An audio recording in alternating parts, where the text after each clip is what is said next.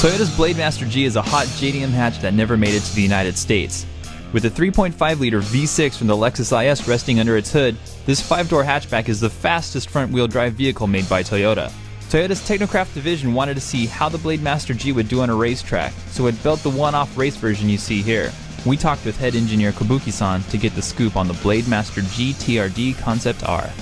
えートヨタテクノクラフト TRD で企画を担当してます小吹と言います、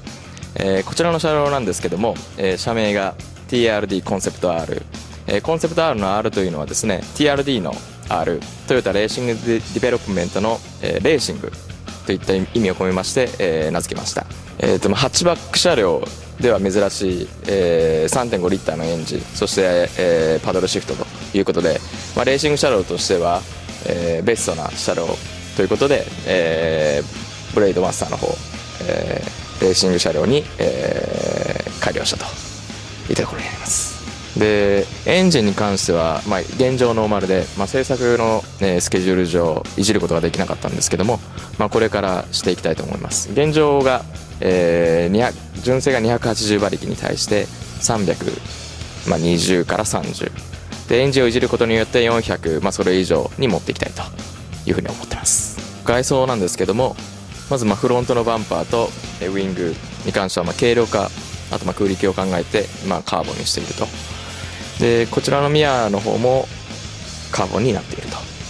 いったところになります。こちらの方ロールバーの方なんですけども FIA 基準に、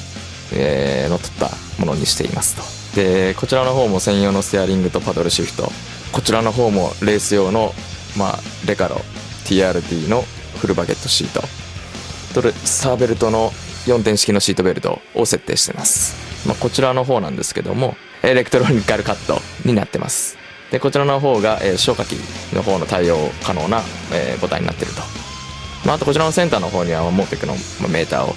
レース用として、まあ、設定してると、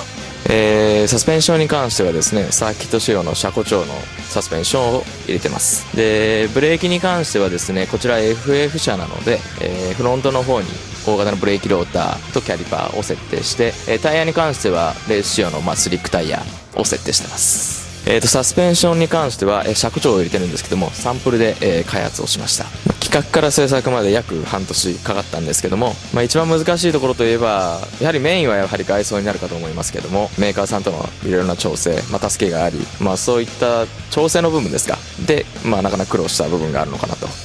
まあ、将来的には、まあ、ストリートでもワンメイクレースでも、まあ、どちらでもですね、まあ、対応可能な、